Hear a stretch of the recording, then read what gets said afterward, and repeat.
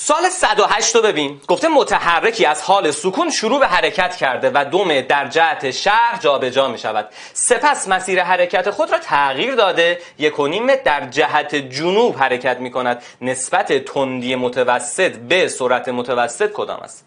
بچه اولین کاری که باید تو این سوال انجام بدین رسم یه شکل دقیقه. دقت کنید. متحرک ما اول رفته شرق. چند متر؟ دو متر رفته به سمت شرق. بعد چی کار کرده؟ رفته به سمت جنوب. چند متر؟ یک و نیم متر. یک و نیم متر هم رفته به سمت چی؟ جنوب. خب.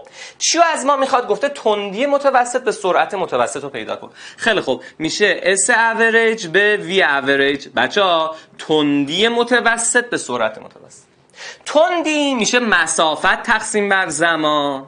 سرعت متوسط میشه جابجایی تقسیم بر زمان. زمانا که یکسان خط می‌خوره پس باید نسبت مسافت به جابجایی رو پیدا کنیم. خب مسافت میشه کل مسیر طی شده.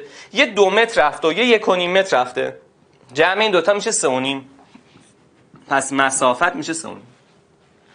حالا جابجایی. جابجایی میشه فاصله نقطه اول و آخر. یعنی از اینجا تا اینجا. این میشه جابجایی ما. خب بعد فیثاغورس بنویسیم اینو به دست بیاریم. متو یکم حرفه‌ای‌تر بچه این یک و نیمه این دو این بعد چند بشه؟ این بعد دو نیم باشه. آقا چطوری من سری می‌تونم بگم؟ خب اعداد فیثاغورسی اعداد طلایی. شما حتما می‌دونید اگه یک مثلث قائم و زاویه داشته باشیم یک زل مضرب سه باشد زل دیگر مضرب چهار باشد و تر مثلث مضرب پنج می‌شود. سه آ و چهار آ پنج آ. به این عدد نگاه کن. این بوده سه تا یک کنیم این میشه بخشی سه تا نیم این میشه چهار تا نیم پس این باید بشه چی؟ پنج تا نیم. پنج تا نیم میشه چند بچه ها؟ میشه دو نیم. خیلی خب پس جا به جای ما باید بشه دو نیم.